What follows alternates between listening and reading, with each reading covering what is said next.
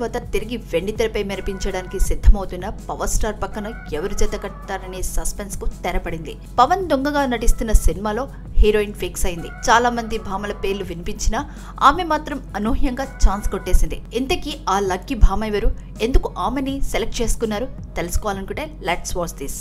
ఓవైపు పాలిటిక్స్లో బిజీ బిజీగా ఉంటూనే మరోవైపు సినిమాలకు కూడా సై అంటున్న పవన్ రెండు సినిమాలు సెట్ పైకి వెళ్ళాయి. ఆయన కథానాయకుడిగా పింక్ రిమేక్ మొదలైంది. దిల్ రాజు నిర్మాణంలో వేణు శ్రీరామ్ దర్శకత్వంలో ఈ సినిమా రూపొందుతోంది.